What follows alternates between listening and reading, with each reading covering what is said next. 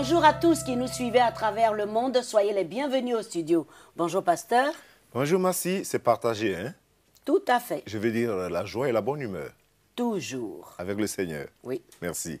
Alors, vous aussi, c'est un plaisir de savoir que vous êtes là nombreux à votre émission préférée.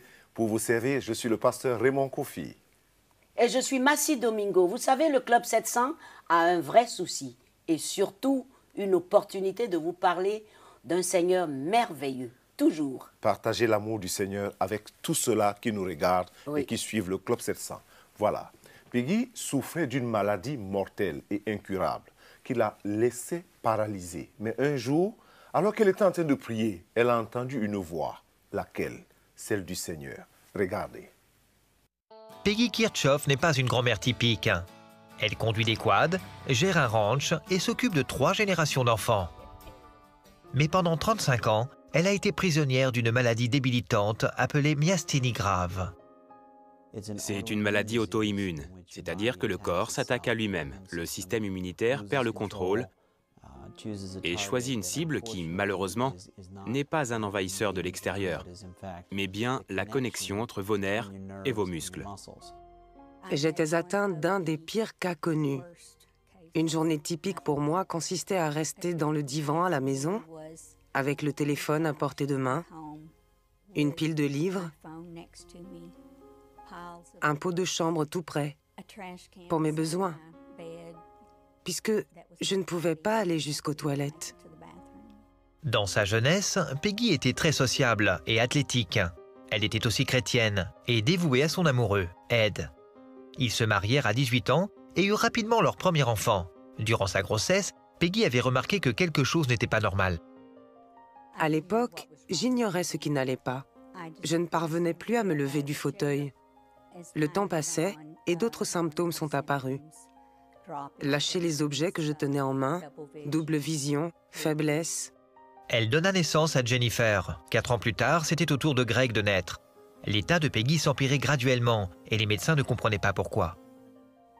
J'avais les muscles de ma bouche si faibles que je devais la tenir comme ceci pour parler. Après dix ans, on découvrit qu'elle était atteinte de myasthénie grave.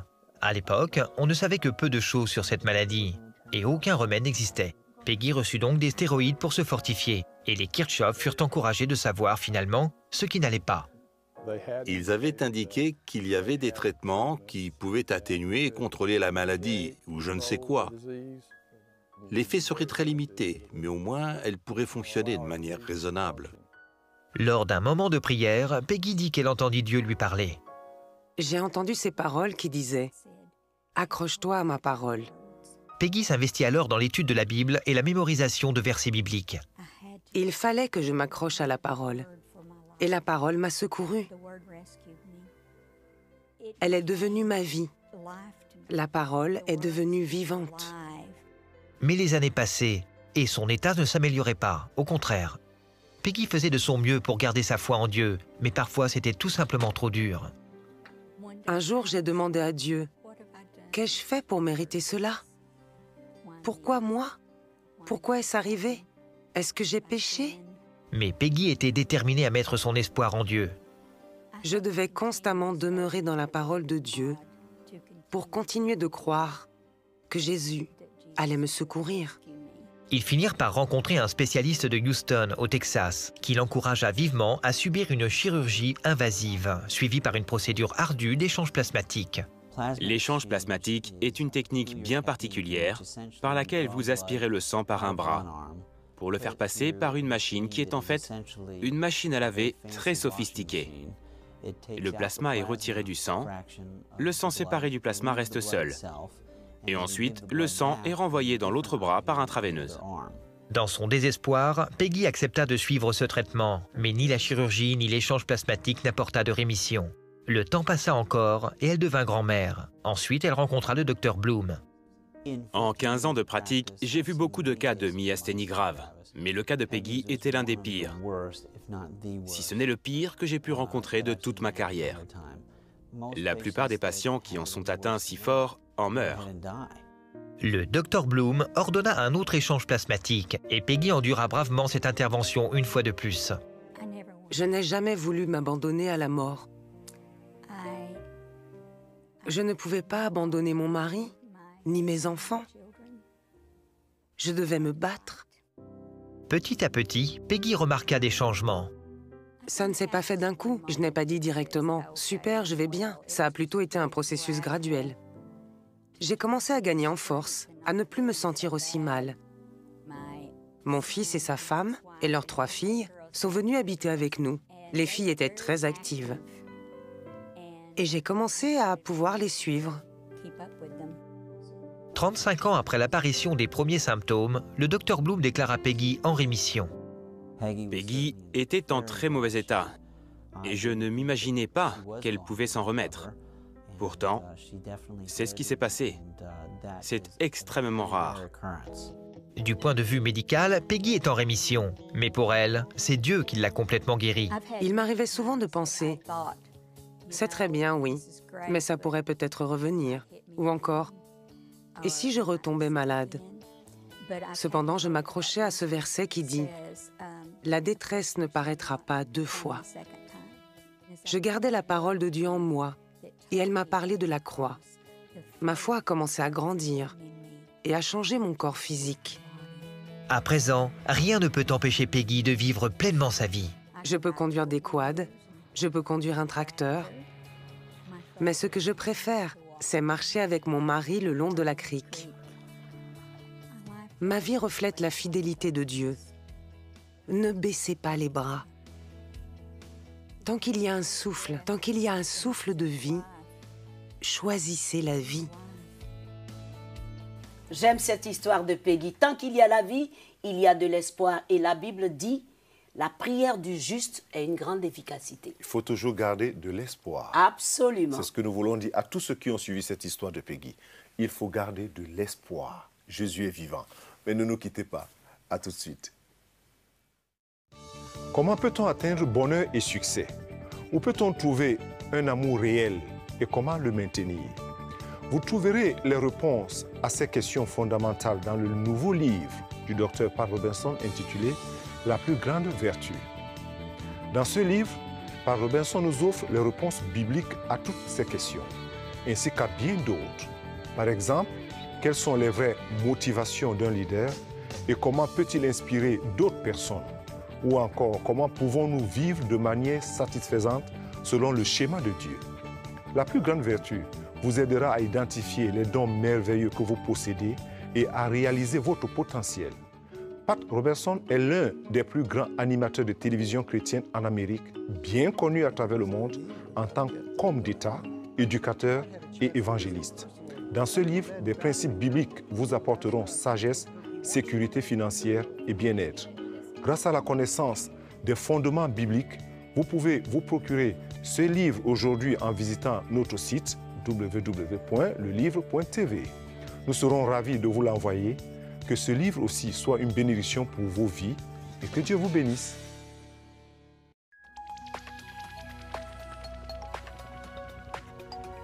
Si vous avez des questions spirituelles, des besoins de prière ou même si vous avez besoin de conseils, n'hésitez pas à nous contacter aujourd'hui à cette adresse ou au numéro suivant.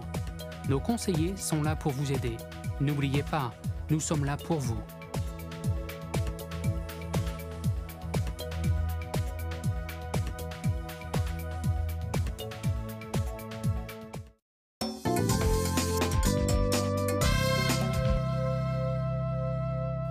Bienvenue de nouveau au Club 700. J'ai le plaisir de recevoir dans ce studio un invité de taille, le pasteur Mohamed Sanogo. Bonjour pasteur, merci d'être là. Bonjour, merci. Alors, euh, votre nom est déjà un point d'interrogation. Comment vous êtes devenu croyant en Jésus-Christ, Mohamed Sanogo? Ben, effectivement, comme euh, vous le dites, euh, mon nom euh, marque mon origine religieuse musulmane. Je suis né dans une famille musulmane. J'ai pratiqué très tôt les rites musulmans, l'école coranique. J'ai appris très tôt à prier. Mon père est une personne assez pieuse, de même que ma mère. Mais très tôt, j'ai commencé à me poser euh, de nombreuses questions. Voilà. euh, euh, lorsque je suis arrivé au collège, mon père m'a envoyé dans une école chrétienne. Et puis là, les enseignants, les profs disaient des choses qui me semblait un peu bizarre par rapport à ce à quoi je croyais déjà. On me disait que Jésus est fils de Dieu. Euh, dans mon courant, c'est inadmissible, Dieu n'a pas de fils. Je voyais toujours Jésus comme un prophète. Et il me dit que Jésus a été crucifié, Jésus est mort à la croix. Et, dans le Coran, le Coran dit que Jésus n'a pas été crucifié. Donc, il y avait pour moi une contradiction. Je considérais la Bible comme un livre saint, tout de même comme le Coran. Et pour moi, il y avait plusieurs chemins pour atteindre Dieu. Et je voyais que ces deux livres saints, selon moi, se contredisaient. Et je me suis dit, mais Dieu ne peut pas se contredire. Dieu ne peut pas dire dans un de ses livres, Jésus est mon fils, et dans un autre livre, dit, Jésus n'est pas mon fils. Donc, euh, il y avait pour moi euh, une question. Et je me suis dit, je ne suis pas convaincu qu'un homme puisse me donner une réponse. Voilà. Euh, si je rencontre des érudits musulmans, ils vont défendre leur Coran. Si je, rencontre aussi des érudits chrétiens, ils défendront l'assertion de la Bible. Alors ce que j'ai fait, je dis, de toute façon, le Coran comme la Bible parle d'un seul Dieu. Donc je vais parler à ce Dieu, je vais le lui demander, je vais lui demander lui-même quel est son avis, qu'est-ce qu'il pense. Et malgré le fait que je sois musulman, je me souviens, euh, ça fait maintenant plus de 20 ans, je m'étais dans ma, chambre, je faisais soit ma prière musulmane là, et puis juste après, je, demandais, je dis, Dieu, toi qui as tout créé, où est le chemin? Montre-moi le chemin. Euh, la Bible dit que Jésus est le Fils de Dieu. Le Coran auquel je crois dit qu'il n'est pas le Fils de Dieu. C'est ce dans quoi je suis né. donc je crois naturellement au Coran. Mais si j'étais né chrétien, peut-être que je croirais. Mais montre-moi la vérité. Et je demandais cela à Dieu. Je savais que après la mort, il y avait un jugement. Et voilà la question que je lui posais justement. J'ai dit, euh, Dieu, si tu ne me montres pas la vérité et que je meurs dans l'erreur, et qu'à la fin tu me juges pour aller en enfer, je te tiendrai responsable. Je dirais que c'est de ta faute. Pardonne-moi de le dire, mais je dirais que c'est de ta faute. Mais si tu me montres le chemin, alors il sera de mon devoir de le suivre. Mais ne permets pas à ce que je me trompe, je veux connaître la vérité. Et j'ai fait cette prière pendant plusieurs mois. Au, fur et à mesure, pendant que je priais, j'avais vraiment cette conviction, quelque chose de très fort en moi, qui montrait que je devais euh, marcher avec Jésus. Jésus était le chemin. Et un jour, euh, j'ai été euh, invité à l'église. Je suis parti pour un intérêt très humain, même pas pour entendre la parole de Dieu. Mais ce jour-là, j'ai rencontré le Seigneur, s'est vraiment révélé à moi. Bon, je n'entrerai pas dans tous les détails, mais le Seigneur s'est vraiment révélé à moi. J'ai senti comme les chaînes, les fardeaux de ma vie être brisés subitement en quelques secondes. Et la personne qui m'avait invité ce jour-là, je lui ai dit, je ne sais pas comment te remercier. J'ai compris ce jour que j'avais rencontré la vérité. Et depuis cet instant, j'ai donné ma vie à Jésus. Je marche avec Jésus depuis, un peu, depuis plus de 20 ans. Et, j'ai décidé de, de, le servir. Voilà euh, en quelques mots hein, ce qui m'a. Comment j'ai pu. Euh, j'ai quitté l'islam et j'ai rencontré Jésus. Bon, il y a d'autres détails. Euh, oui. Voilà. Alors, vous prêchez l'évangile, vous êtes enseignant, vous voyagez à travers le monde. Et dans ce monde plein de chaos, vous êtes très, très pointilleux sur l'intimité avec Dieu. C'est un message très clair que, que, que, vous donnez un peu partout. Pourquoi cette importance, cette intimité avec Dieu? Ok, merci encore de cette question. Effectivement, l'intimité ou en fait la notion d'amitié, de proximité avec Dieu, avec le Seigneur Jésus, caractérise le, un des messages, ou bien le message principal que le Seigneur me demande de donner. Euh, le message que Dieu me donne de donner, c'est de ramener le cœur des hommes à Dieu. Voilà. Et je crois que mon témoignage de conversion à Jésus euh, présente un peu le type de relation que j'ai avec Dieu, c'est-à-dire de franchise, d'honnêteté, de, on discute franchement, euh, je lui pose clairement mes questions. Euh, un jour, dans ces prières-là, j'ai eu comme une. En parlant, j'ai eu une révélation. J'ai eu deux révélations qui m'ont marqué. La première, Dieu a ouvert mes yeux et j'ai vu des milliers de gens être conduits en enfer. Et je pleurais, je pleurais, il m'a dit, va et délivre-les. Mais s'il y a eu cette vision, il y a eu une autre aussi, où dans une atmosphère, j'ai vu comme la présence de Dieu, le paradis qui m'a. C'était tellement beau, tellement glorieux, ce qui nous était réservé après la mort. Et après cette vision-là, j'ai demandé, demandé au Seigneur, Seigneur, enlève-moi, je vais être auprès de toi, je veux mourir maintenant, et puis être dans ta présence. Et c'est là qu'il m'a donné la vision des gens qui partent en enfer. Il m'a donné une autre vision où il m'a montré que il ne s'agit pas seulement de, de vite aller dans sa présence, mais que lorsqu'on va se retrouver auprès de lui, il y a certaines personnes qui seront beaucoup plus proches. L'apôtre Paul dit dans un passage, il dit, euh, je prie pour emporter le prix de la vocation céleste en Jésus. Un peu comme si en tous les croyants, ce n'est pas une compétition, mais même si on est sauvé après avoir cru en Jésus, on, euh, certains seront vraiment très, très, très proches du Seigneur. Et pour moi, c'est devenu la raison, une des raisons pour lesquelles j'ai décidé d'être sur la terre, c'est-à-dire d'être le, le, meilleur ami possible du Seigneur pour moi. Voilà, donc toucher le cœur de mon Dieu, lui être proche, être un ami essentiel avec Jésus. Et ça, c'est une raison pour moi de, de, vivre. Et la deuxième, c'est celle-là, faire en sorte que le maximum de personnes n'aillent pas en enfer, mais qu'ils aient la vie éternelle. L'intimité avec Dieu, pour revenir là-dessus. Je crois que c'est ce que l'homme a perdu. Voilà, dans le livre de Romains chapitre 3, verset 23, il est dit, car tous ont péché et sont privés de la gloire de Dieu. Ce passage m'a beaucoup marqué. Ce dont l'humanité été privée, selon ce que dit ce verset, c'est la gloire de Dieu. Il dit car tous ont péché et ils ont été privés de la gloire de Dieu. Donc, l'homme n'a pas été privé du mariage, de l'argent, en fait, de tout ce que le monde peut offrir. Mais ce que Adam et Ève, les premiers hommes, ont perdu, c'est la gloire de Dieu. Alors pour moi, ce que l'homme doit retrouver, c'est cette gloire. Mais c'est quoi cette gloire qu'il a perdue? Ça se trouve dans le jardin d'Éden, juste pour revenir à la notion d'intimité. Vous savez, la notion d'intimité fait ressortir le fait de ne pas avoir de secret entre deux personnes, le fait de ne pas avoir de secret. La Bible dit que Adam et Ève étaient nus devant Dieu. Ils n'en avaient point honte. Ça veut dire qu'ils étaient intimes. Un homme et une femme sont intimes dans le sens qu'ils n'ont plus de secret. Donc, quand la Bible dit qu'Adam et Ève n'avaient pas de vêtements et ils n'avaient point honte d'être devant Dieu, ça suppose qu'ils étaient très intimes à Dieu. Ils étaient très intimes à Dieu. Il n'y avait pas de secret.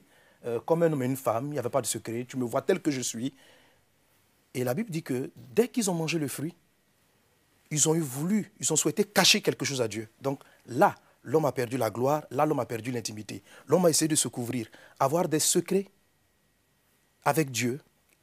Et puis Dieu a pris acte et l'homme est parti du jardin d'Éden. Donc ce que l'homme a perdu, ce que la Bible appelle la gloire de Romains 3, 23, c'est en fait c'est l'intimité. L'homme n'était plus un ami de Dieu. L'homme avait, des secrets pour Dieu. Dieu aussi a commencé à, avoir, à cacher des choses aux hommes. Jésus vient, il parle en parabole. Il dit, il parle, il explique des mystères. Donc il y a des choses qui sont cachées la Bible dit encore dans le livre de Proverbes, la gloire de Dieu, c'est de cacher les choses. La gloire des rois, c'est de sonder les choses. J'ai compris qu'avec l'avènement de Jésus, ce que Jésus-Christ est venu nous ramener, c'est non seulement le pardon de nos péchés, mais c'est le retour à l'amitié de Dieu, l'intimité de Dieu. Jésus pouvait, euh, je finis cette idée en Jean chapitre 15, verset 5, il dit ceci à ses disciples. Il dit, euh, je ne vous appelle plus serviteurs, Maintenant, je vous appelle mes amis.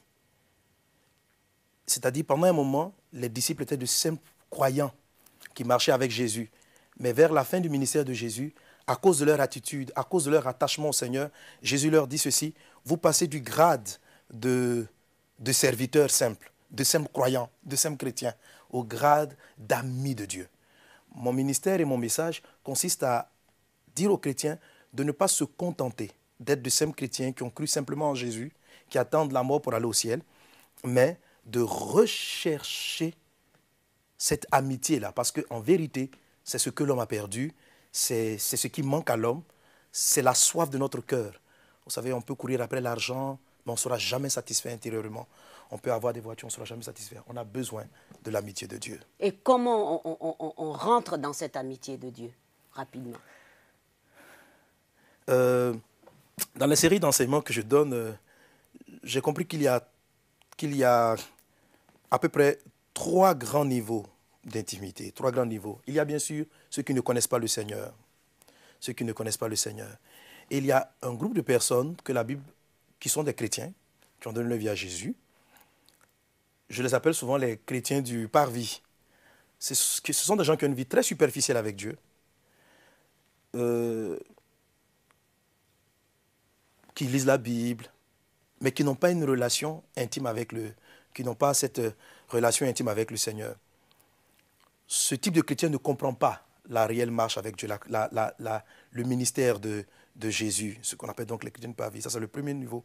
Jésus, euh, Paul dit, par exemple, dans le livre de Timothée, il dit, dans une grande maison, en parlant de l'Église, il dit, il y a des vases d'honneur, il y a des vases de qualité il y a des vases vils. Ça veut dire qu'il y a des chrétiens qui sont simples, vils, qui ne connaissent pas les secrets de Dieu.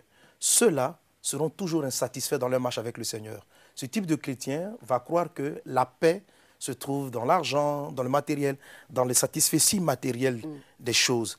Euh, ils sont sauvés. Mais si on veut se contenter juste d'aller au ciel, pour moi, c'est... Hein, vous savez, il y a beaucoup de gens qui... Je me dis souvent, si euh, Jésus venait annoncer, euh, il n'y a plus d'enfer, l'enfer est fermé.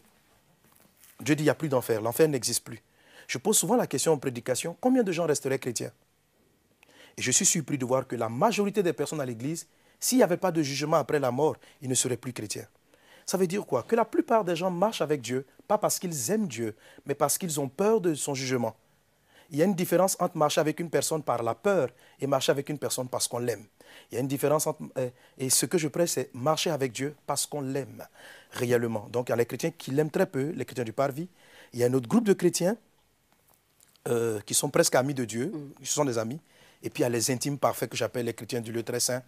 Euh, voilà. Et ces intimes-là doivent avoir une relation au jour le jour avec ce Seigneur. C'est ce que vous voulez dire?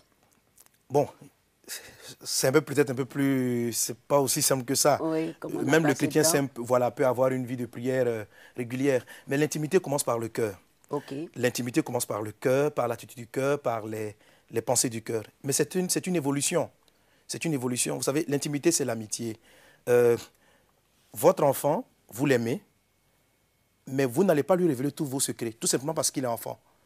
Vous attendez qu'il grandisse un moment. Donc, pour tout chrétien, il y a un état d'immaturité qui fait que parce qu'il ne comprend pas les choses de Dieu, euh, il ne sera pas peut-être le meilleur ami de Dieu juste pour ça. Et puis, il y a des personnes qui, délibérément, malgré qu'ils peuvent comprendre, se tiennent un peu éloignés de Dieu dans leur communion avec le Seigneur. Très bien. Alors, nous sommes suivis par des millions de téléspectateurs à travers le monde. Voici une occasion de dire à tous ceux qui nous regardent un message de Dieu.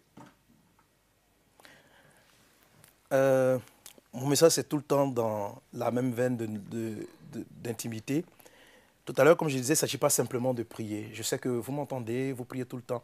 La question que je vous pose, lorsque vous priez, vous priez avec euh, euh, quel cœur? Le cœur de celui qui veut profiter de Dieu ou le cœur de celui qui cherche à faire plaisir à Dieu? Ça fait une grande différence dans l'intimité. Deux personnes peuvent faire la même prière, les mêmes mots, mais sans le même cœur. Deux personnes peuvent adorer Dieu. Une personne adore le Seigneur parce qu'on lui a dit que lorsqu'on adore, Dieu bénit. Et une autre personne l'adore simplement parce qu'elle a envie que le cœur de Dieu se réjouisse. Ça fait une différence dans l'adoration. Si vous priez de la sorte, si vous cherchez le cœur de Dieu, si vous cherchez à faire plaisir à Dieu, alors vous retrouverez ce que vous cherchez depuis tout le temps. La vraie quête de votre cœur, écoutez, ce n'est pas l'argent, les voitures, mais c'est l'amitié de Dieu. Ne cherchez pas le Seigneur pour ce qu'il peut donner, mais cherchez le Seigneur pour ce qu'il est. Je ne dis pas de ne rien demander à Dieu, il faut le faire. Un enfant demande les choses, un ami peut demander un service à son ami, mais il ne marche pas avec l'autre parce qu'il attend de lui de recevoir quoi que ce soit cherchons le cœur de Dieu et cherchez Dieu et une vraie relation avec Dieu, bien sûr. Abandonnez tout ce qu'il y a de négatif, le péché, ces choses-là qui vous alourdissent, qui alourdissent un grand nombre de chrétiens aujourd'hui et qui les éloignent de leur Créateur. Détournons-nous de tout ce qui ne glorifie pas le Seigneur, ayons une vraie relation avec Dieu, soyons des intimes de Dieu, des amis de Dieu. Merci, pasteur. Merci, Massi. Que Dieu vous bénisse. Merci. Chers amis, voilà, vous venez d'écouter le pasteur Mohamed Sanogo de l'église Vase d'Honneur en Côte d'Ivoire, un peu partout dans le monde. Ne nous quittez pas, à tout de suite.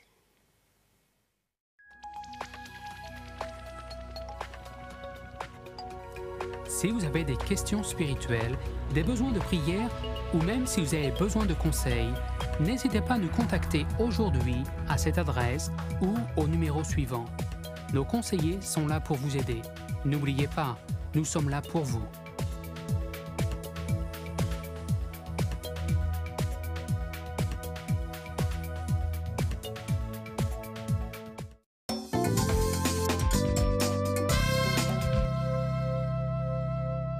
Bienvenue de nouveau au Club 700. C'est l'histoire d'un médecin qui se rendit chez un commerçant dont l'enfant unique allait bientôt mourir d'une maladie incurable. Il pénétra dans la chambre silencieuse où les parents et autres membres de la famille assistaient dans une angoisse muette et impuissante au dernier moment de leur fils. Et en un instant plus tard, le petit enfant mourant ouvre les yeux et avec un sourire qui illumine les traits de son visage émacié, il tend au docteur sa main amaigrie en disant Au revoir, docteur, et merci pour tous vos efforts. Mais docteur, est-ce que je vous reverrai au ciel? La question de l'enfant avait atteint le docteur comme une flèche. Pour la première fois de sa vie, le médecin comprit qu'être chrétien n'est pas une idéal vague, mais une certitude inébranlable. La paix sur le visage de ce petit enfant mourant l'avait amené à comprendre qu'on peut réellement posséder le Seigneur Jésus-Christ comme Sauveur et Seigneur et connaître la sérénité dans les grands moments où il y a les défis dans la vie. La Bible dit, je vous ai écrit ces choses afin que vous sachiez que vous avez la vie éternelle, vous qui croyez au nom unique du Fils de Dieu. La question est la vôtre aujourd'hui. Est-ce que je vous verrai au ciel? Est-ce que Massi et moi, on vous verra au ciel? Est-ce que vos parents, peut-être qu'ils sont croyants et vos amis, vous verront au ciel? Il y a une chose à faire, c'est de dire, Seigneur, moi aussi, je veux connaître le ciel avec toi. Et je regrette, Seigneur, toute ma vie passée dans le péché. Seigneur Jésus, je t'ouvre la porte de mon cœur. Viens dans ma vie et change ma vie. Change-la maintenant, Seigneur. Amen et Amen. J'espère qu'on se reverra au ciel. Et je, l'espère bien. N'est-ce pas, Massi On doit se on voir doit au se ciel. voir au ciel. on doit y être, on doit y arriver. L'émission est terminée en attendant qu'on se retrouve au ciel. Vous pouvez toujours nous visiter au club700.tv, bien sûr. Vous pouvez aller sur Facebook. Vous pouvez continuer à regarder les témoignages et surtout lire la parole de Dieu. C'est très important. Posez-nous des questions, écrivez-nous et nous voulons vous dire que Jésus vous aime, ne l'oubliez jamais. Au revoir, pasteur. Avec toute la joie, hein. Et à vous aussi, au revoir. Que Dieu vous bénisse.